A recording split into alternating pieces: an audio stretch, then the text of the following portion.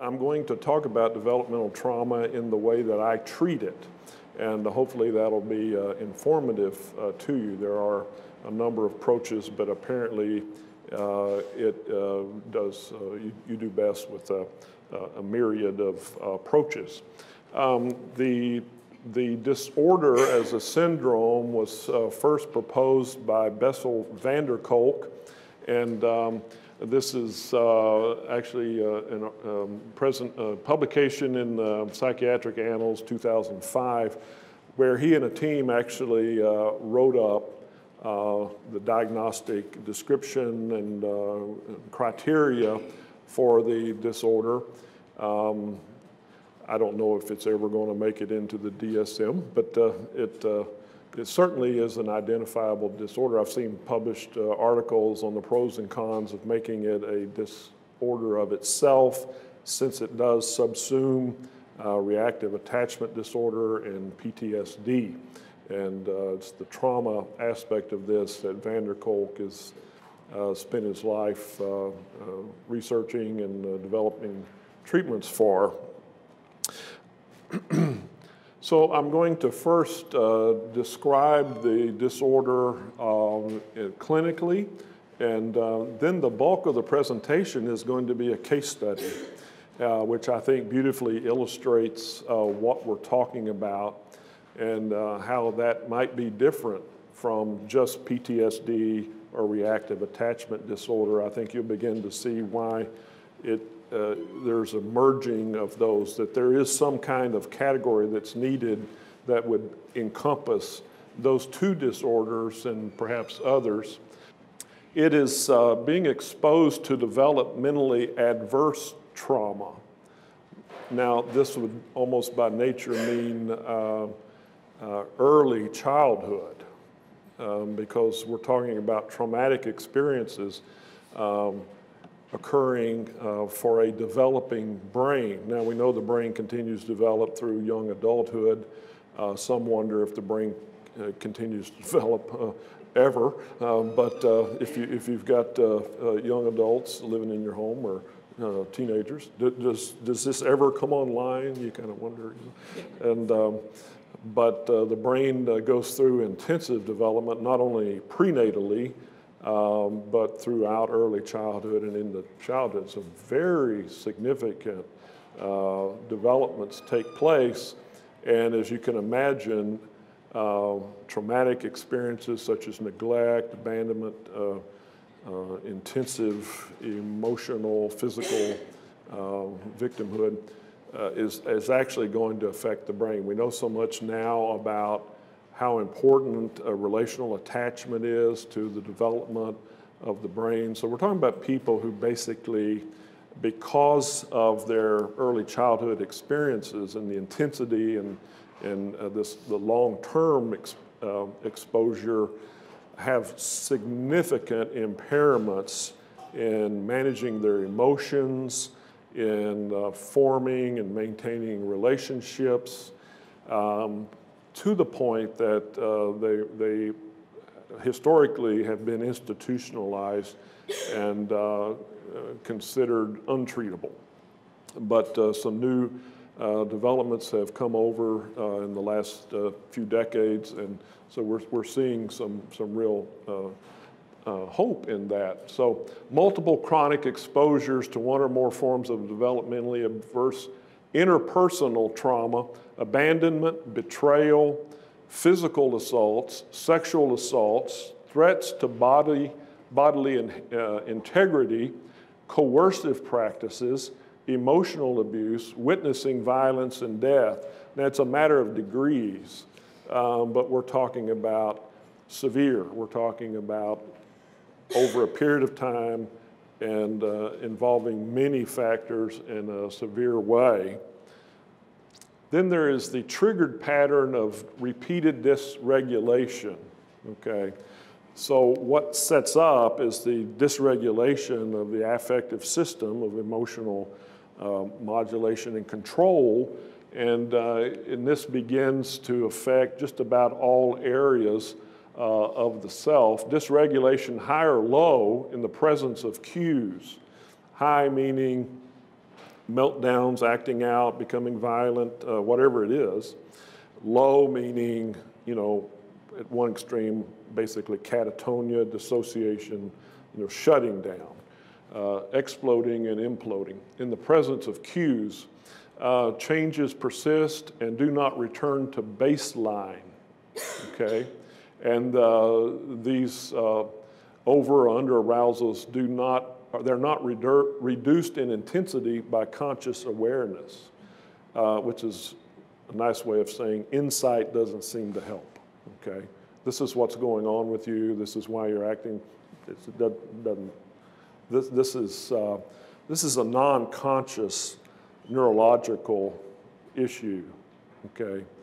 And um, so it's going to affect the affective domain, which would involve emotion, reactivity, arousal, the somatic uh, or body domain, physiological, motoric, and medical issues. These are individuals that are going to have some level of dysfunction, um, which will be manifested in various uh, vulnerabilities to medical problems, uh, just an overblown stress reaction. Uh, and we, we know that uh, this kind of continued stress response just does all kinds of harm with our immune system and sets up a number of other issues, chronic pain, this kind of thing. Behavioral reenactment, uh, cutting, uh, the cognitive domain, thinking that it is happening again, confusion, dissociation, depersonalization, the things you would think of with PTSD. Uh, relational, and this is where the uh, attachment issues come in, clinging, oppositional, distrustful, compliant, you know, and if you've worked with these uh, kinds of kids, it's like needing comfort so badly, but reacting against it, you know, and um, um, self attribution, self hate, blame, incredibly um, insidious, persistently altered attributions and expectations or expectancies. Uh, in other words, assuming this is the way life is going to be. Okay? I've been neglected, I've been abandoned, I've been beaten, I've been traumatized, I've been victimized, I've been exposed to God knows what, and this is life, and this is the way it's going to be. You know, back in the day when we studied Erik Erikson's stages of psychosocial development. Y'all still study that in school? I mean, I teach it. you know, trust versus mistrust. We kind of come out of the womb, and it's like our first crisis is, uh, is this going to be a good place or not? And uh, I think most babies, if they could talk, they would say, you know, we're not off to a good start here. Uh, you know, I was in a nice place, and all of a sudden I'm out in this cold and, and there's bright lights, and, and were you spanking me? What is, what is happening, you know?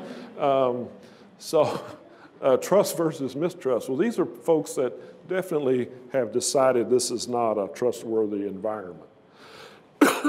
Excuse me. And um, distrust of uh, protective caretakers um, loss of expectancy of the protection by others. You know, it's okay now. You're in a safe place. You're not living with those people anymore. Doesn't, doesn't sink in, okay? Um, lack of trust in social agencies to protect. You know, part of that is, okay, we don't want anybody to be too naive, right? Um, but the agencies that do many times intervene and uh, set up a rescue in, a, in effect, uh, those, those uh, are not respected by the individual. And it's because of their experience, maybe being put into a foster home where the abuse continues at some level, okay? Because these are children that are more likely to be re-victimized, okay? lack of recourse to social justice or retribution, inevitability of future victimization, which is kind of what I just mentioned. And then finally, functional impairment. If you're going to have a DSM diagnosis, then how does this impair a person? And it's incredibly impairing. Uh, educational um, delays, learning disorders. When your brain is on fire, you know, you, you really don't care about the capital of Wyoming, you know, uh, that kind of thing. It's just, you know, it's, it's, a, it's a failure to cope. Familial, uh, peer relationships, social relationships, legal, um, they're many times at a disadvantage in uh, their legal rights being uh, respected or advocated for. Uh, and then later in life, uh, vocational issues if they're able to function to the point of working. okay, I have uh, the, the, the, next slide has a little more information about the National Child Traumatic Stress Network of Therapies. Um, and I, have got the uh, website there. They list 52 different types of interventions, and they have a criteria uh, for what makes the grade.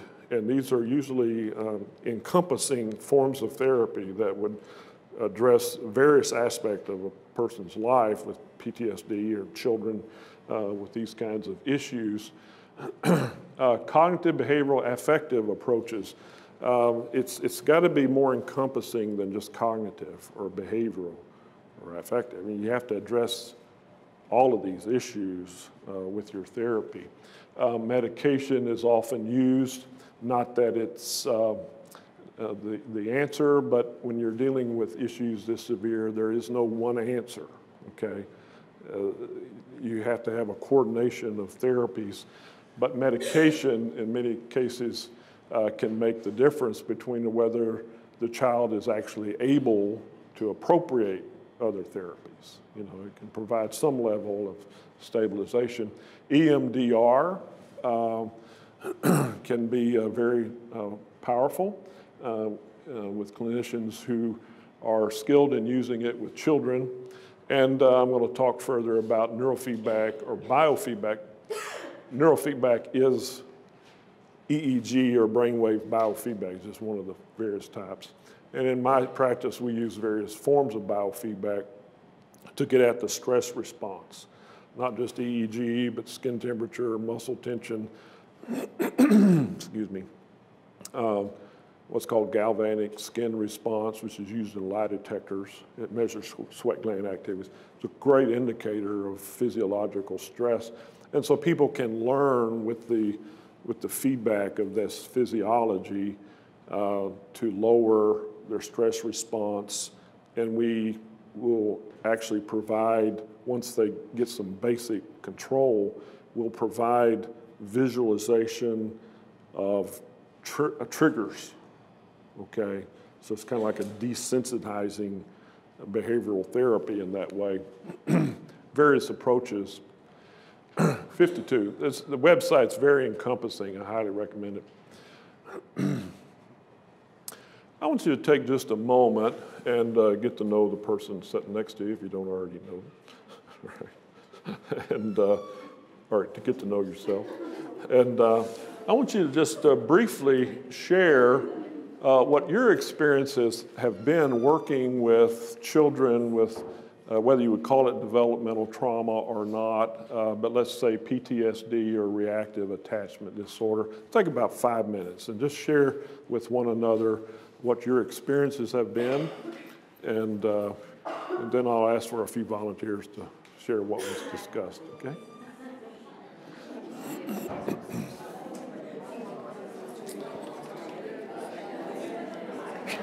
I work in a local school district, and I've been, um, you know, honored and privileged to work with some of the families that have children with disabilities. Right. And I'm sharing with mm-hmm. Kim my new best friend here, that um, in the 14 school years, I've seen such tremendous number of children experiencing, we can, of course, in the school diagnose, but what appears to me to be RAD. Mm-hmm. And there's so many complicated uh, factors because there is, we're onions, all of us are onions, we have layers and layers. And some of these families with children with disabilities, you know, they're already struggling with being, um, you know, in um, low SES, low coping skills themselves, and then they have a mm-hmm. child with a disability that just, or two, or in some of my families that have three receiving services. In 14 years, I, I, I see more and more, and uh, I'm glad we're talking about it because Sure. the elephant is in the room. and Oh, man, And it's showing up in, in our classrooms for those of us that work in, in the public school system. Um, And it's just heartbreaking because I'm a mom uh, of a child that now, um, she's 20. And, oh Lord, thank you that I had some common sense in some areas. Because, you know, um, she might still need a clinician when she gets to be an adult and say, my mom wasn't here or there. But can you imagine for some of our families that don't have the skills? right. Like some of us in this room do. Mm-hmm. Um, So yes, it it is, Yeah, thank you. You know, I debated uh, about telling my daughter, okay, I've got some money set aside for your college. Uh, I almost said, or you can use it for therapy. It's up to you, you know. but uh, yeah, I mean, uh, does anybody else have experienced uh, either in the classroom or clinic or something where you feel like there's just become an escalation of these severe disabilities? I'm a CPS caseworker. There you go. And, uh, I have a 10-year-old child right now who's been through two failed adoptions. And uh, of course, he's traumatized. So now he's acting up really badly in school. Right, right. He's just terrible at school. Not too bad in the home because he's around with people, but he's doing terrible. And I know it's actually related to these failed adoptions and not just the original trauma that brought him in, but Exactly. the rejection twice. Right, yeah. And, and that seems to be more typical than not, that, you know, it's, situation was bad enough, but then it's like the helping process failing just exacerbates, Yeah. right, the situation. Anyone else? We, we work at a um, place that pro- provides permanent supportive housing for single moms and their children. Oh, great, And so great. what we see a lot of times is there's like a recidivism where like the mother will have PTSD or trauma and then you, and issue where as a child she was in the foster care system and then now her child's in the foster care system and having behavior issues and so it's, I don't know if it's whatever she learned and now it's being passed on, you know, that secondary trauma. Right. The child has the secondary trauma or is responding based on the mom's PTSD or what that is, but it's. Yeah, kind of a- Kind of an intergenerational transmission. Yep. And uh, uh, I think we all tend to parent like we were parented, right? That's the baseline. And if that was fairly pathological, you know. But you're working in, uh, uh, uh, working with uh, single mothers, right? And uh, to give them some skills and support and that kind of Yes, I'm Great. manager there, but um, our facility provides like wraparound services for, um, it's housing, permanent supportive housing, so we provide case management there. Wow. And um, uh, we have a clinician on site as well and some other services there. And we can Yeah. about 20, or 20 families. 20 to 25, and this No, is uh, 20 families. 20 families. Oh, okay. Yeah. Wow. You know, I can I get kind of down the mouth uh, even talking about these uh, kinds of situations, but then you have a discussion, you realize how many people are in some way plugged in uh, to uh, providing services. Uh, it's what it's going to take.